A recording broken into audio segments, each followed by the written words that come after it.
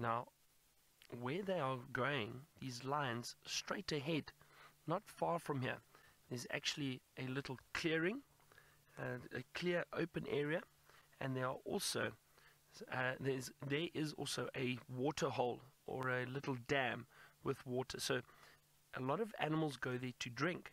So these lions are clever by heading in that direction. They've already seen some giraffe. Now the chances are there's possibly some other animals hanging around the water hole. So these lions are interested in hunting, and it just shows you. Sometimes people think that lions only hunt at night, but if they hear animals or see animals, they will possibly try hunt during the day too.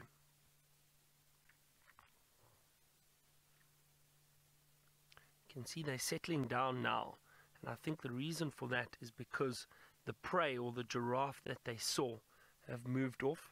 They obviously either smelt or saw the lions. And giraffe have got incredible eyesight. This is amazing, very exciting. wonderful, wonderful start to the afternoon.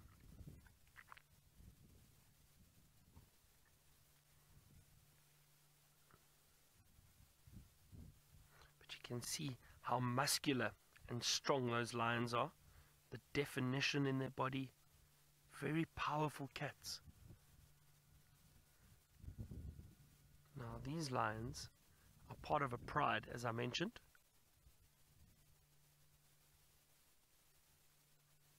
And there are actually, there's some young ones that are right next to us. These are the cubs of these lions. They are quite big already. So they're not too young, but you see how clever they are. They know to hang back when the mothers are looking to try get food. So they don't disturb them. So that's why they're a little bit further behind them but the rest are coming soon. They're all coming out. There's one, two, three, four, should be six.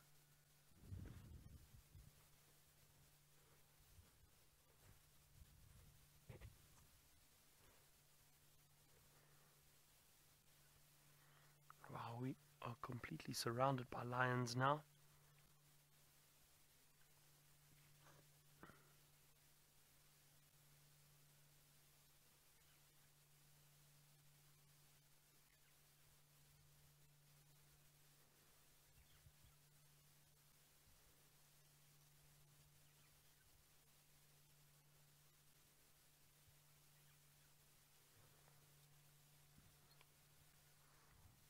All six of the young ones are now here and we've got the four females lying around just in front of us.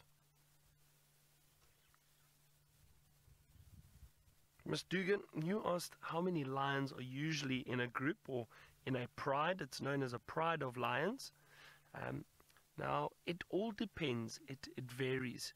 You can sometimes have a small group of um, two or three lions together and in some parts of Africa you can get prides up to 20 or 25 lions, some really big prides. Now this pride that we have, it's four females and six youngsters. Um, now there's not a big dominant male with them at the moment. There was this morning, I think. But what happens is in this area, there's not just one male. There's actually a coalition or a group of four brothers, four big dominant males that patrol this whole territory, this whole area. And they are the ones that meet up with this pride from time to time. So they don't stay with them all the time, but they are occasionally around and they do meet up with them, especially when these lions make a kill. The reason for that is because the males are, know that if the females make a kill, it's very easy for them to, to come and steal or take some of the food before the lions feed. Look at that beautiful mouth and face.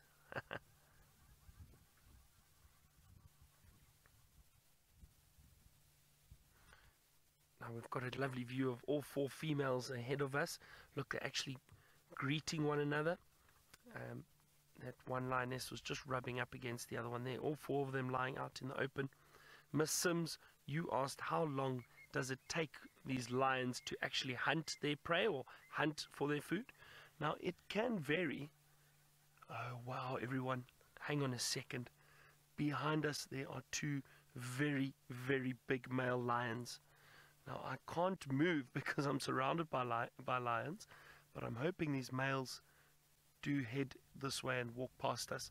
So we'll sit here and wait and just see.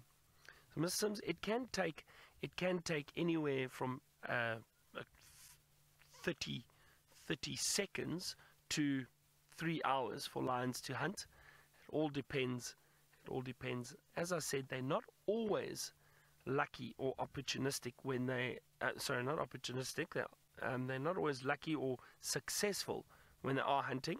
It can take some time. It can take a lot of effort. And if the lions try five or six times to hunt, they might only catch something once out of those um, those opportunities.